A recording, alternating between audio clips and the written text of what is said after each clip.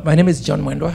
I work for Coca-Cola Beverages Africa. My name is Roina, probably from the one company most of you haven't heard of.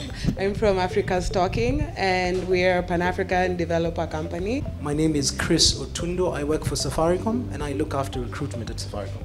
Hi everyone, my name is Agnes Muthoni. I work with Andela and I head up their global recruitment and selection programs for the engineers who are joining our program.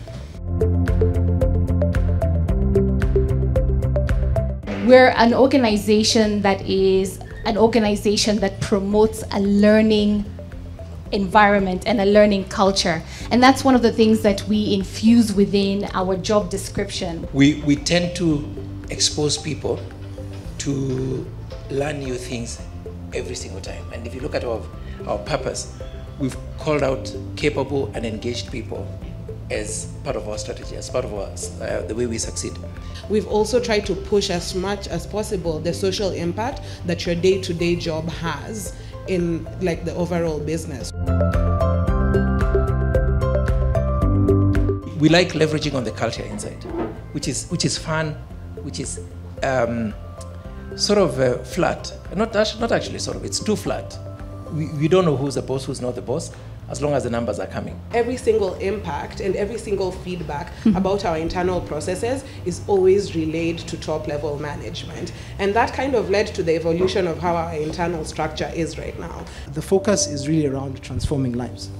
And so on a day to day, uh, what we've done is first of all articulate what is the employer value proposition. In addition, we've segmented it and said that we're not just talking generic to everyone, we're saying what does a woman want to see when they, want to, when they work for this organization? What does a person with disability want to see?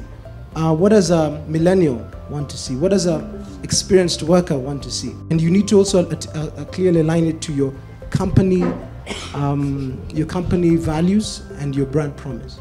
So Safaricom, our brand promise is Twaweza. When we come together, great things happen. So everything that we talk about and articulate as our value proposition will align to that. If you look at our website, it's infused with our epic culture, with our epic values. Um, and, and in fact, an, a number of applicants who I've had the privilege of speaking to, the first thing they always speak about is the fact that what excited them most about Andela was either the stories that they've heard through other Andelans who have talked about it on social media. Um, it's also the values that they've seen our Andelans live by. How many of us know what our candidates look for in our websites and stuff?